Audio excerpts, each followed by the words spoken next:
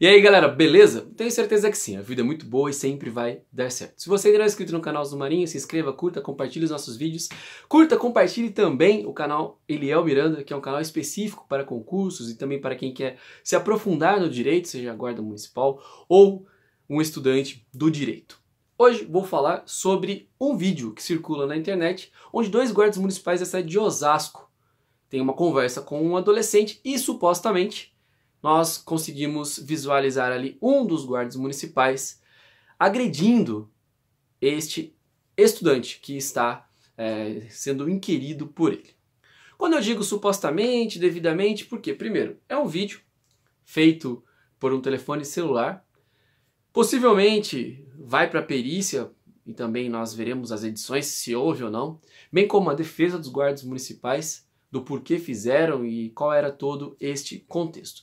No entanto, como estou recebendo muitos pedidos, até mesmo nos comentários de outros vídeos, ah, comenta para nós ele, essa questão acontecida em Osasco e tal, e quase sempre eu prefiro, em assuntos que nós temos poucas informações, não, coment não comentar, nos abster. Salvo se nós tivermos bastante é, elementos, e aí sim nós vamos dar os direcionamentos.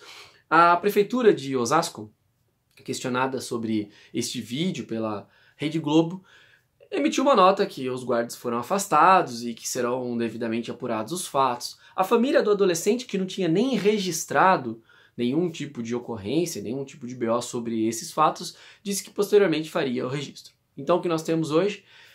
Primeiramente, o vídeo, quando chegou à Rede Globo, que deu notícia, deu visibilidade ao vídeo, é que a família foi se preocupar em fazer o registro da ocorrência. Então nós não temos o porquê, como e nem os, teor, os teores da conversa, de repente do diálogo, nem mesmo das versões do ofendido, nem mesmo dos agressores aí, guardas municipais. Então quis fazer essa introdução toda porque nós não podemos julgar.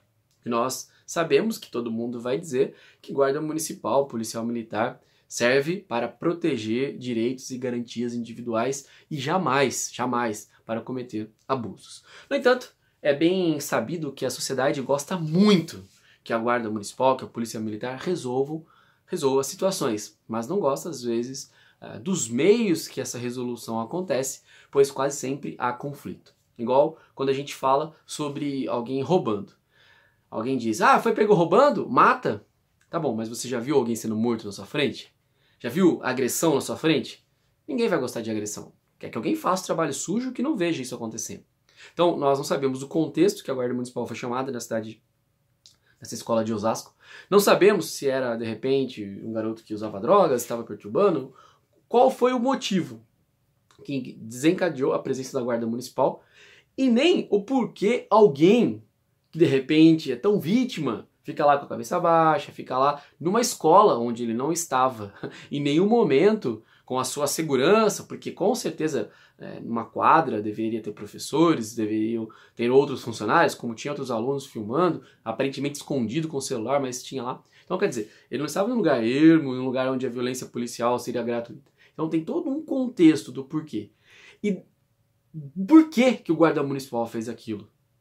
Se nós analisarmos o vídeo sozinho, isoladamente, nossa, mas a distância não oferecia risco nenhum, foi um exagero, abuso de autoridade, tal, violência policial, tantas coisas. Mas percebam quantas coisas tem pro meio. Porque quem já está no crime, vendendo drogas, às vezes o diálogo nada resolve, reitera, volta a ter problemas. E aí a, a diretora, é, não aguentando mais, chama a guarda municipal e implora para que se resolva. Aí o guarda municipal às vezes vai conversar no momento que o celular abaixa, o menino às vezes pode ter feito algum gesto que desencadeou aquele outro do guarda municipal. Então, não tem como avaliar. Você que de repente é, veio nesse vídeo, viu já no início. Ponderações sobre a violência da Guarda Municipal de Osasco. Ponderações. Não é conclusão, não é achar culpado e simplesmente corrigir aquilo que deve ser corrigido. Por isso que serve a para isso, isso que serve a corregedoria. Jamais eu julgaria a ação de um colega sem ter o conhecimento dos fatos, mas para que todos não fiquem sem informações, reflitam sobre isso. Muitos da sociedade querem violência, querem que resolva problemas que às vezes o diálogo não resolve, mas não querem estar presentes. E aí quando nós temos estes vídeos que vazam, aí é, vamos crucificar, esquece que tem pai de família lá também, e o porquê que as coisas aconteceram e em que contexto aconteceram. Nós não podemos justificar um erro com, com outro.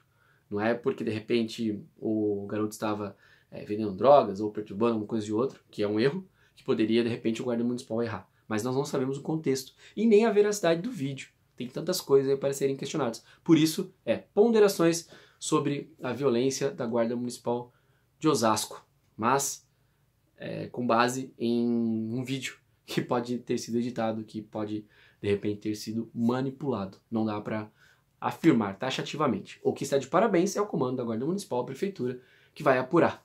E a Rede Globo, mais uma vez, demonstrando que uh, dá voz aí aos oprimidos, aos fracos, como faz as coberturas no Rio de Janeiro, nas intervenções federais, sempre contra a polícia, sempre contra a Guarda Municipal, sempre contra estes que fazem diariamente tantas coisas boas que não aparecem. Mas quando nós temos a suspeição de um ato, aí sim se torna público e notório. Vamos adiante, acreditando que é possível vencer todos e lutar contra tudo que diminui a credibilidade de um trabalho, às vezes exemplar, de uma corporação que é sensacional, que trabalha da maneira que consegue, mas um ato como este, isolado, pode às vezes denigrir perante o público uma corporação toda que é séria. Um abraço a todos os guardas municipais de Osasco, também a estes envolvidos e que tudo se resolva, tudo se esclareça e que a vida continue. Forte abraço a todos, fiquem com Deus. A vida é muito boa e sempre vai dar certo.